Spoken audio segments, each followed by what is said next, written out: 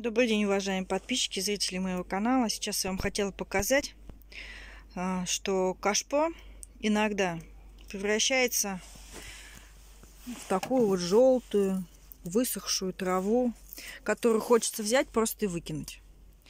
А, как я часто говорила в своем видео, обзорах, не торопитесь.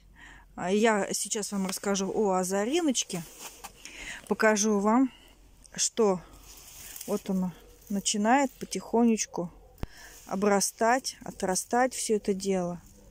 То есть по-хорошему я сейчас просто наведу эстетику куста, уберу все вот это вот от... сухое все. И у нас получится замечательное кашпо, которое в дальнейшем обрастет.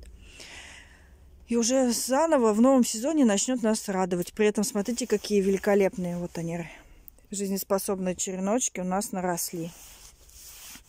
Даже вот они внизу, сейчас я вам покажу. Вот они внизу, ветви. Конечно, их придется убрать, потому что они наполовину сухие. Великолепный черенок. При этом, смотрите, вот они семенные коробочки, которые у нас висят. Вот я их собираю. Сейчас я их сложу. То есть это моя подстраховка. Допустим, кашпо приболело, либо я его перелила. Вот я собираю. Внутри у нас, внутри у нас черные семена.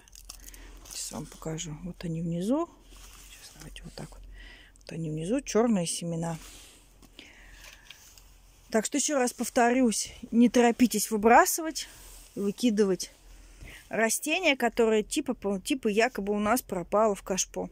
Это, конечно, не относится к определенному рангу растений, допустим, калибрахуа. Если оно пропало, то оно пропало. А вот азариночка, она у нас не только пошла из-под корня, но вот еще и дала самосев. Вот такое вот у нас замечательное растение азарина. Спасибо вам большое за просмотр. Подписывайтесь на мой канал. Сезон только начался. Впереди еще очень много интересного.